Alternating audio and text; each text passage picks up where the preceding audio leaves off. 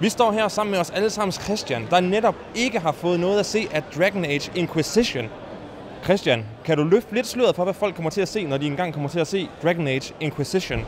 Det kan jeg absolut. Det bliver ligesom Sims, bare bedre. Kan du afkræfte eller bekræfte, hvorvidt der er drager med i det nye Sims Inquisition? Det, der sker, er, når din øh, goalie han er, han er blevet meget bedre i det nye Dragon Age, øh, når han skubber en bold over ved siden af målet, som man gør i sport, så kan du spawne en drage, hvis du er heldig. Øhm, målet er så at få øh, dommeren til at bekæmpe dragen hurtigst muligt. Det lyder jo bekendt, den gamle formular fra Dragon Age-serien. Men er der noget nyt i serien reelt set? Nej. I forhold til tilskuerne, er de blevet bedre?